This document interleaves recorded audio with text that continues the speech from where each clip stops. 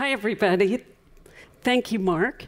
Um, it's a total pleasure to be here with you. So, for those of us, and it's probably true of everybody in the room who, like me, are data geeks and care about health, this is a fantastic time to be alive. So, I'm going to show you why I think we're at this transformative time when it comes to national data and hopefully spark uh, some new ideas and some new collaborations.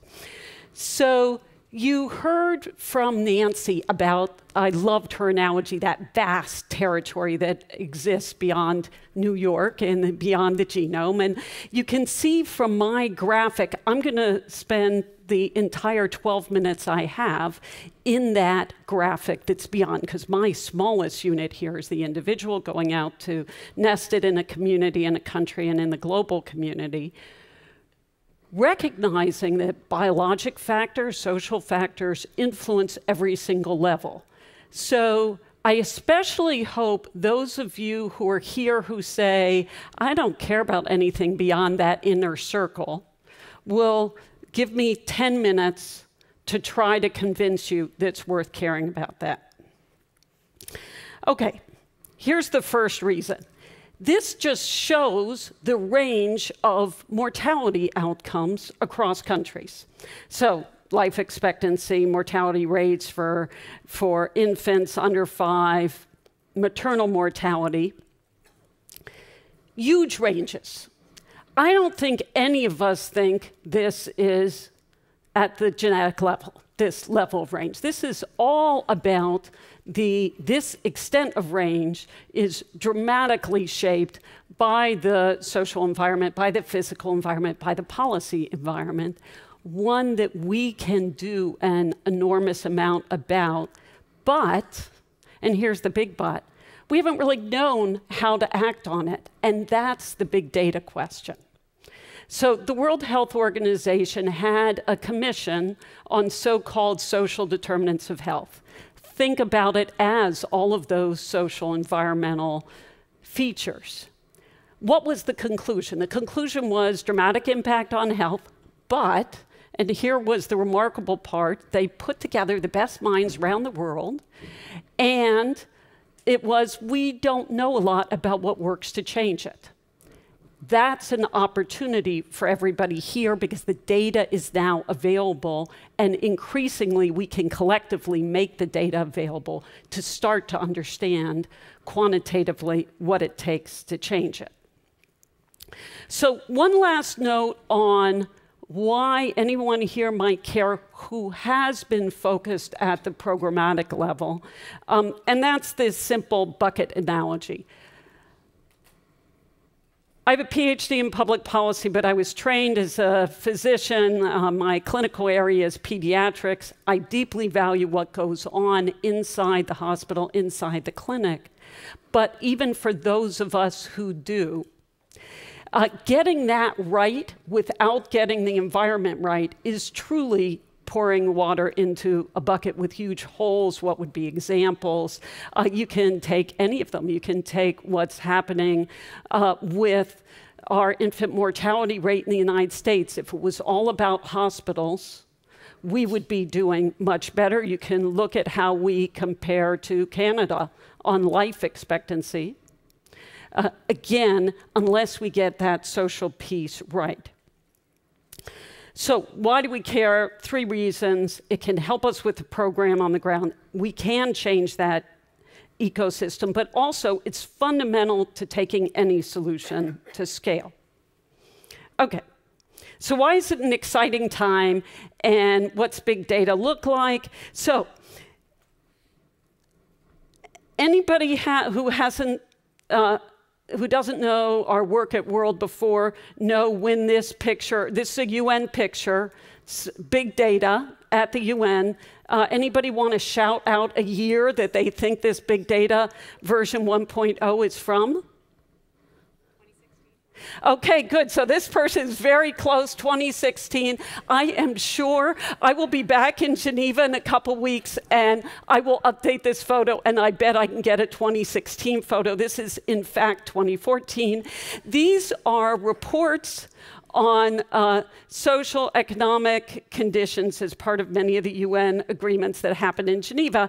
Big data photocopied into big boxes, not very accessible. That's version 1.0, does not allow us to analyze impact. Okay, this is big data version 2.0. So I'm dean at UCLA of public health, but I, am really here wearing another hat. That's being director of something called the World Policy Analysis Center. Uh, for those who want to look up the data online, we're at worldpolicycenter.org. We're the largest quantitative center measuring policies around the world. We have about 2,000 indicators of policy times 193 countries. Instead of taking those boxes, it's taking 20,000 hours of work to go through all that legislation, to go through all the policies, so people can access it in 20 seconds on a computer screen. But that's probably not enough. That gets us to version 3.0, which is everybody should be able to access it on their cell phone in case you actually very kindly turned off your cell phone during this talk, which I realize is probably very few people. but on the left is what looks like on your cell phone. It's our data. It can come up on maps on the cell phone. The important thing is how many people right now already have smartphones. That's before the $4 smartphone. We can all be getting data on what's happening at a national level out, and I'll show you in a minute why you would care about that. But first, I want to invite people who might want to work on 4.0. What does policy data look like as it should look but doesn't yet? That's two way communication. So, what we already have is what's on the books, what it's supposed to be, but not really what's happening on the ground for billions of people. As cell phones get to smartphones to 3 billion, 4 billion, we could start to test implementation two way communication. So, why collect this big data on what countries are doing and how they're implementing it. I told you that the first reason is it has to do with a lot of mortality, but what do you do once you have it?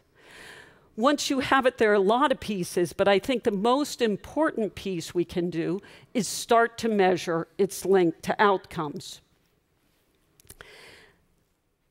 The reason there wasn't good data before, when the World Health Organization came together, on what to do about how social conditions impact health was because we didn't know how to measure it. So one country changes something. The United States at last passes parental, paid parental leave, but does it have an impact? We don't know because it's passed at the same time as we have a new president, a different economy. It's hard to assess. Same thing if you're in Botswana or Benin. You need to have a lot of countries at once. Having the data we have now linked to health outcomes, and I will get back at the very end to what it would mean to link it all the way back to biology, which I totally agree with Nancy is the goal.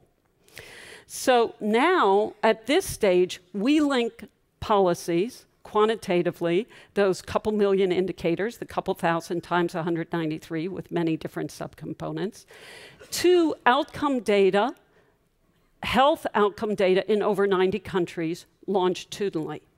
That allows you to look at natural experiments. It allows you to look at what happens if a national policy changes. Does it lead to a change in health outcome? Here's one of the results from a recent study.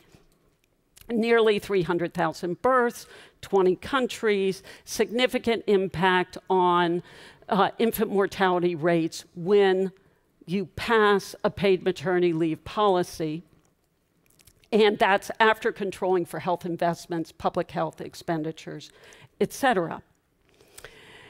Now, for time, I'll just be brief to say why do we believe that, besides that it's longitudinal, it's now much more rigorous quantitatively, besides the quasi experimental design. It's because we can also look when we link data across these levels at mechanisms.